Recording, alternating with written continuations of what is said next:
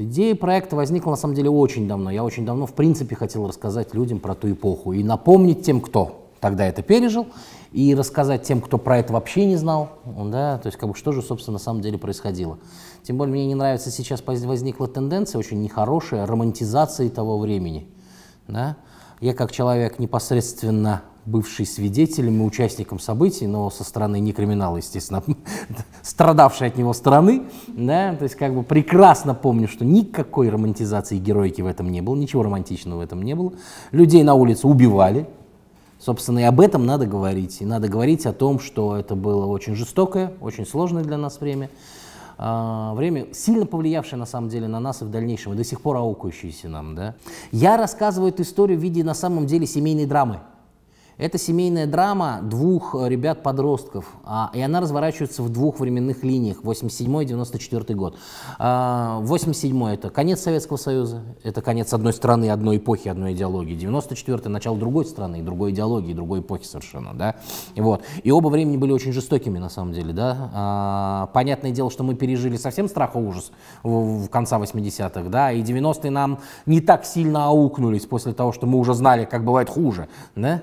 Вот. А, и поэтому 94 вот 87 год, если говорить о примерах, как это может быть, то это мы референсом, например, брали во все тяжкие, как прекрасный, добрый, милый учитель химии Уолтер Уайт превратился в Хайзенберга, да, в жестокого наркодилера и убийцу.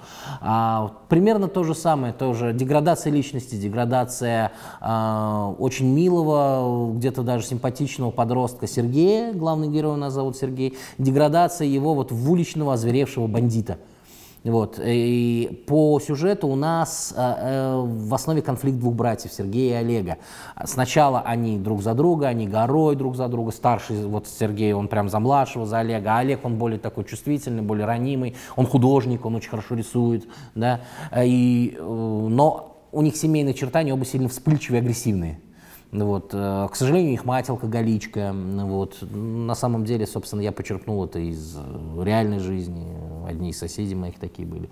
Вот. А, и, соответственно, то есть как бы деградация Сергея идет, и в результате Сергей а Олега-то калечит вот именно вот линии 87 -го года, и он виноват в травме брата, и в 94 году, когда он выходит из тюрьмы, он возвращается в дом к отцу, отец ухаживает за младшим сыном, тот уже инвалид и общается с миром только рисунками.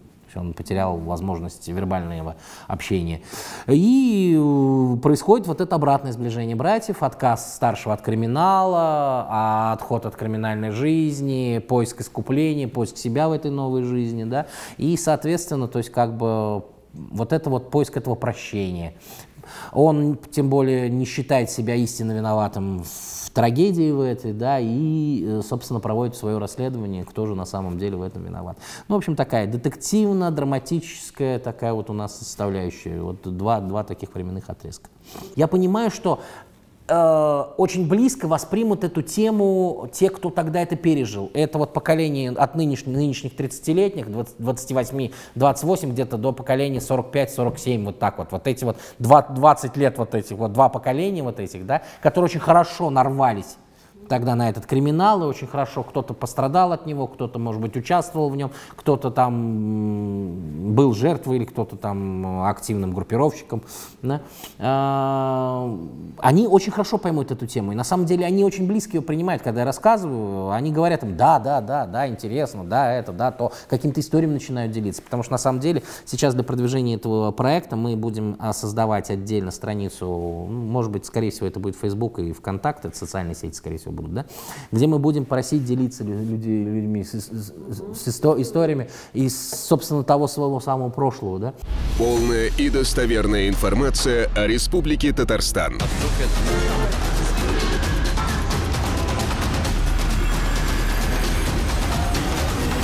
Информационное агентство «Татаринформ».